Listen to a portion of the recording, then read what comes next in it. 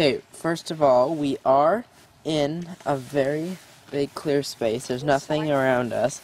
Okay, and we have created this portable Wi-Fi modem. We can get Wi-Fi anywhere through radio or TV signals, whichever type of antenna that you have, and get it with your iPod Touch. Okay, so this is really simple. All you need is an iPod wire, which all iPod Touch users have, a 9 volt battery, and a TV antenna wire, uh, transmitter, or a radio. Right, so you're gonna have two wires on one of these.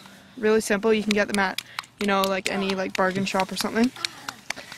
And, or London uh, Drugs. Or, or London Drugs, or you know, like thrift stores.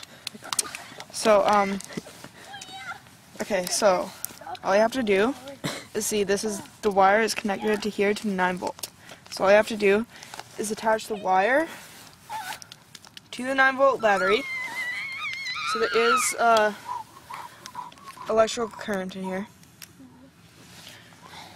So you plug it in. It's connected to Wi-Fi. Just go like this. Press this. And you can see already we do have lots of Wi-Fi signals. It, it, it actually gets Wi-Fi signals from up to two kilometers. It's really easy to make. And uh, yeah, these are from all the radio stations that go around. And um, so yeah, you can see I already have lots right here. I'll just go into one here, access it. So it's really simple. Oh, here. Really simple procedure. Just all you need is a TV or radio antenna, which lots of people have.